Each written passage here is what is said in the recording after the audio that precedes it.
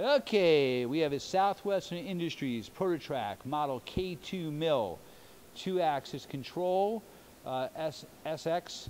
Uh, it has an Acu-Rite glass scale for the quill, so it reads three axis, but two axis motion. Uh, TorqueRite power drawbar, R8 spindle, and we're going to run her for you.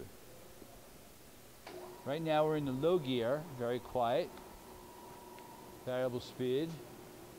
We're in the high range, high end of the low range. Stop and brake.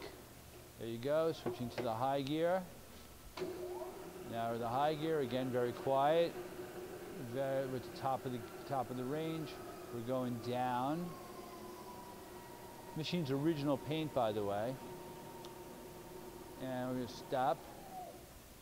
Okay. He's moving the quill. You can see that on the control. Great. And there's two axes. There's the X and the X and the Y, which are ball screw. And we are going to move them by power as well. X-axis and power, very quiet. And the Y.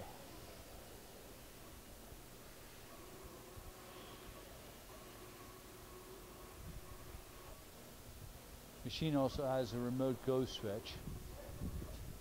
Uh, and then we're going to see a couple of different screens here. It's got bolt holes and all different things you can do, arc and pockets.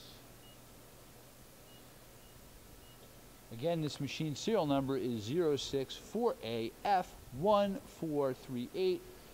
ProtoTRAK K2 new in 2006 with an X with an SX control. Thank you very much for watching our video.